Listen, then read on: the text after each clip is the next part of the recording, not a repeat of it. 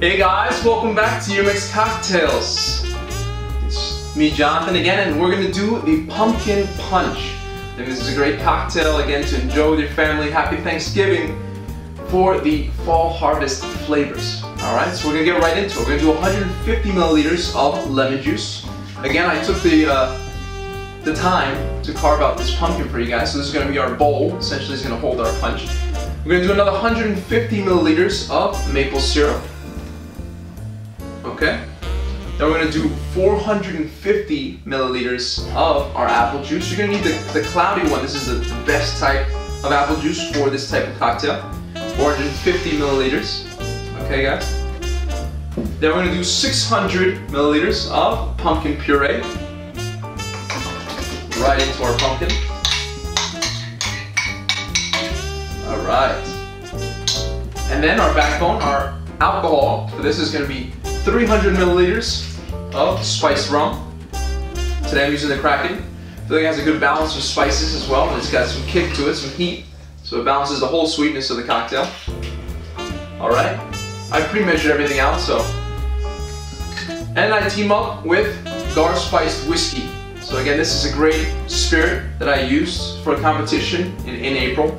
They did a good job because it's not too much heat in, in the whiskey and it's perfectly balanced, the sweetness and the fall harvest spices we are talking about. So we're gonna do 600 milliliters of the whiskey, just to really give it that flavor. And we have it ready. So we just add the ice, traditional punch, whereas a punch without some ice. All right, dropped a few, but that's okay. And just incorporate all the ingredients together. The punch. And on the side I have some of our spices, some cinnamon sticks, some star anise, and clove. Whole clove, we just drop them in there. It's perfectly fine. Mix it together. All right. And there you have it. You just serve it in a ladle. With your ladle, you serve it in a nice glass. And some nutmeg to finish.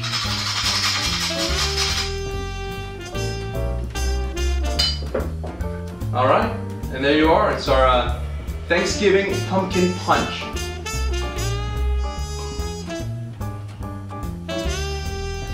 It's great. Again, those fall harvest spices really come together.